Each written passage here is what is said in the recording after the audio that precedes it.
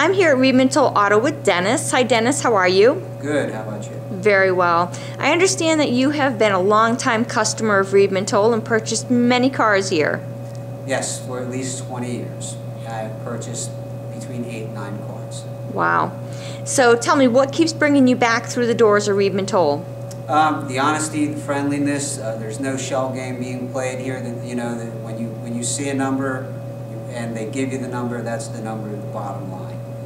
Mm-hmm. So it, yeah, I just appreciate that. No hassle, no playing games. Um, have you had service done on any of your vehicles here through the years? Um, yes, on every vehicle I've ever bought. And so, what was that experience like? Service has always been great. They, you know, they treat you like family. They, they always remember your name when you come in the next time. They get you in, get you out. Um, it, it's, it's just always been a great experience for me. So, tell me overall, if you had to sum it up, um, what with your last purchase, I believe that you bought a 2011 Subaru Legacy. Is that right? That is correct. So, tell me, what was your uh, favorite part of that buying experience? Driving off a lot with a brand new car that I bought cash and don't have a car payment.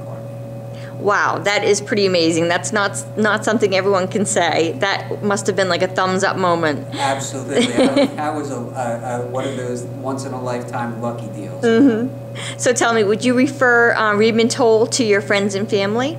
Absolutely. I refer this place as much as I can. My friend Dave Robley is a manager over in Mazda. I refer him to anybody, guys I even play golf with. He's just a good guy, and, and like I said before, there's no messing around. You come in, they take care of you, give you a price right up front, and stand behind his work. Well, that's great. Well, thank you, Dennis, so much for your time today, and um, hope to see you here soon. Okay, thank you. Thanks. Have a good day. You too.